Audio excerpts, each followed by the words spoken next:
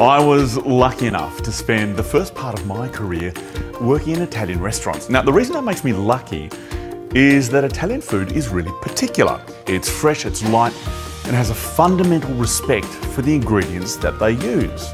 Now, you think about it. Say you're here in Australia and you're lucky enough to grab yourself some of this. This is Manning Valley Naturally Beef. It comes from the mid north coast of New South Wales.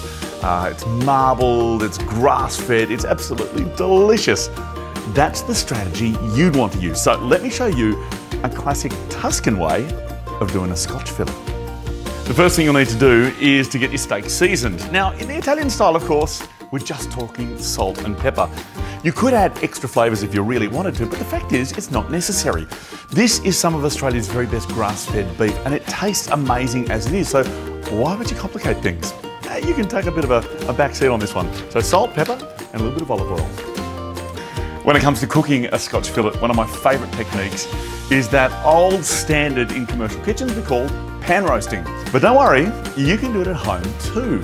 Look, it's pretty simple. All you need is a heavy base skillet. And then we're going to sear these steaks for a couple of minutes on each side until that lovely brown starts to appear. And then we'll pop them into the oven.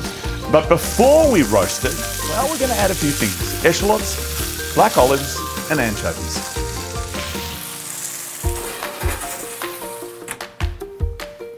Now that is only going to take a matter of minutes, but that's okay because what I'm going to serve with it is equally quick. A warm chickpea salad using those really lovely garden vegetables you find in all kinds of Italian food. First up, some red onion. We'll just saute that off with cumin seeds and garlic. And then, oh look, some of my favourites. You've got zucchini and eggplant, and of course, the chickpeas. It smells absolutely delicious. Simple, yes, but extraordinary. The only thing it really needs to finish it off is maybe something like some toasted almonds, that'll give you richness, and a squeeze of lemon juice just for freshness.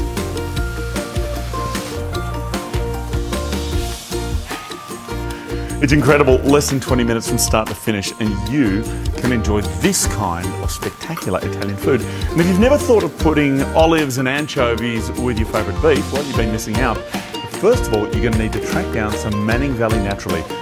It is Australia's premium grass-fed beef, treated simply and the results are divine. You want the recipe? Well check out the Manning Valley Naturally website.